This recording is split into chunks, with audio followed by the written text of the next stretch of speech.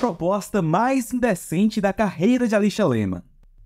A jogadora do Aston Villa surpreendeu a todos com uma revelação chocante. Alicia Lehmann, uma das atletas mais famosas do futebol e conhecida como a jogadora mais sexy do mundo, recusou uma proposta indecente. Ela afirmou que uma celebridade ofereceu a ela mais de 500 mil reais para passar uma noite com a jogadora. Apesar da oferta tentadora, Alicia disse não ela compartilhou essa história em um podcast e, embora tenha mantido em segredo o nome da celebridade, afirmou que ele é famoso no mundo todo. Diz aí nos comentários quem você acha que pode ser. Alicia estava em Miami e recebeu essa mensagem no celular. Até o guarda-costas da jogadora foi contatado pelo mesmo famoso. Alicia, tem mais de 15 milhões de seguidores, já namorou o brasileiro Douglas Luiz e é abertamente bissexual. Ela também revelou que o rapper Drake mandou um direct para ela, mas era para pedir duas camisas da jogadora. Mas e você?